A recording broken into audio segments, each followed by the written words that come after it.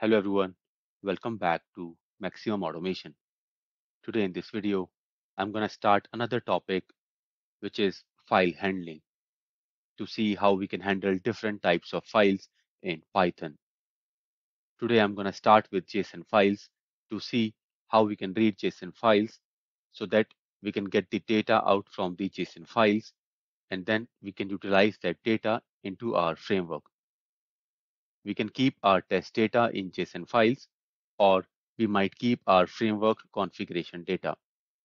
So in both cases, we need to read those information from the JSON file, and then based on the values coming from the JSON files, we can pass those values to the desired methods to perform the further operations. Let's say for an example, I have this JSON file with me, class details.json file and this file contains class details, let's say class name, and the value is 10. Then it contains the room number of the class, which is 46B. And then it contains the student's data. Here we can have multiple students in a class. Let's say the name of the first student is David. His roll number is 4523. And these are the subjects which David has.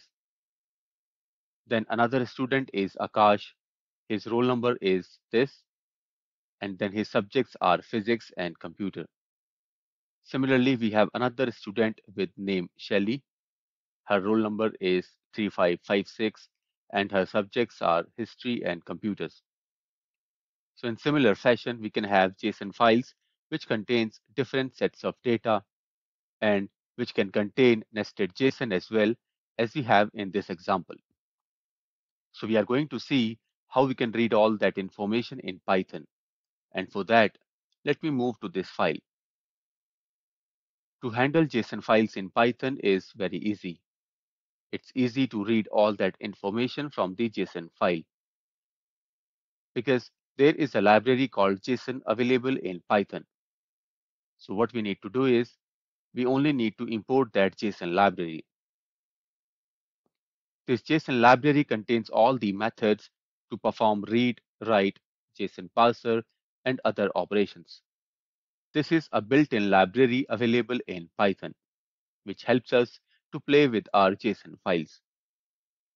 Now, first of all, we need to read JSON file to get the file content. And for that, we can type with open and then we have to provide the file name. Here the file I want to read is classdetails.json. So I can provide my file name over here. See it auto populates. This file is placed under the same folder, so I don't need to provide the whole path. But in case if you have a file placed at different location, then you have to provide the full path of that file. Here the first argument is for the file name. And then in the second argument, we have file open mode. Either we want to open the file in read mode or write mode. So R is for read mode. And then let me create a variable as file. Then I'm going to read the file content using the file.read method. With the help of this read method, all the content of the file will be stored into this variable or object. So using this open method, we have read our JSON file. Now we have our file content with us. So the next thing is to parse that information into JSON format, and then we can extract the information using these JSON objects. To parse the content, what we need to do is here I'm going to create a JSON object. And then let me call the JSON.load method. Then we need to provide the file content into this load method. Now the file content will be parsed using the JSON.load method and we'll get our JSON object. Using this object, we can get the JSON values by passing the node names. Let's move to this class details file. Let's say I want to know the class and room number from the JSON file. So what I can do is here I can type print and then I'm to print into the console as class name and then I can use the JSON object where I'm going to pass the node name. So this is our object and this is the node name. Then let's say in the second statement, I'm going to print the room number.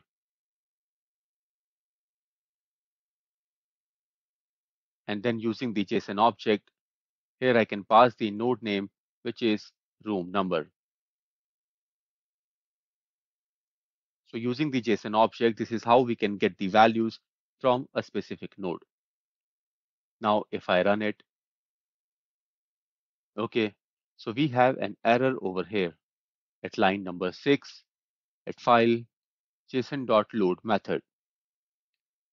So I have used the load method instead of loads. Let me correct it. And now if I run it, you can see that the class name value is 10 and the room number is 46B. We have got our JSON values from the JSON files. Now let's say you want the student information. Then what you can do is I'm going to add another statement for students.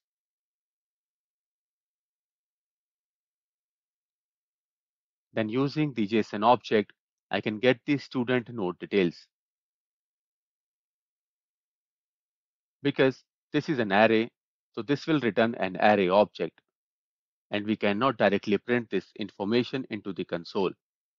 So what do we need to do? We have to first convert this array into a string so that we can print it into the console. And now if I run it, here we can see the class name, room number, and the student details. So we got all these student details, like this is for David. Then we have got the information of Akash, and then the information for Shelly. Now let's say you only want the information for a single student. Let's say you want only first student details. In that case, you can specify the index. If you want the first student details, then you can specify the index as 0.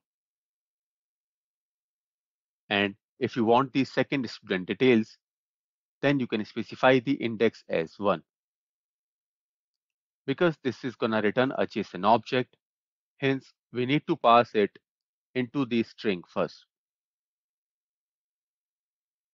And now if I run it, you can see here it gives the first student details where we got the details only for David. And then for the second student, we got the details for Akash. So this is how we can access the details from the JSON files. Now let's say that I want to print all the details for all the students which I have in my JSON string. Or let's say I want to get all the details of the student and then I want to perform some operations based on the values. If the student name is Akash exists in my JSON string, then I want to perform some operation based on that. In that case, we need to traverse to the JSON or JSON array object. And to traverse, we can use a loop to get the content of the required node values. So now let me use a loop to traverse to the JSON array. Here I'll pass the JSON node name as student. And then let's say I want to print the student name.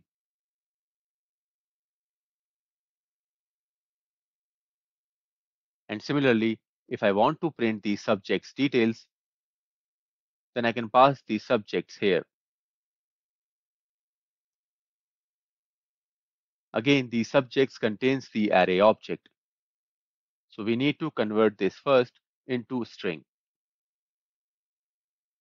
And now if I run it, you can see that we have got the details. First, we got this student as David and his subjects as physics and maths. Then we got the student name Akash, his subject physics and computer. And then we got the student Shelly and her subjects history and computer. So this way I can traverse to the data which is available in my JSON file. I hope you like this video. Please put your comments in the comment box.